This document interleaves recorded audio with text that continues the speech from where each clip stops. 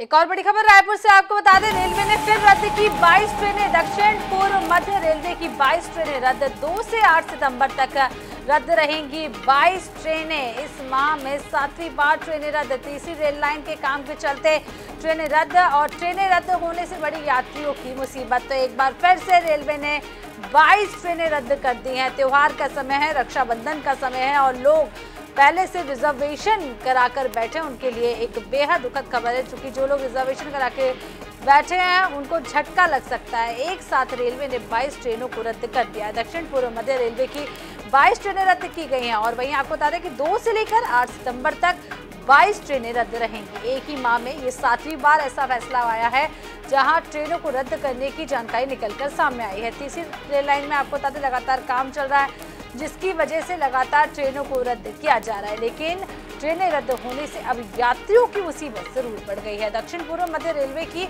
22 ट्रेनों को रद्द कर दिया गया है।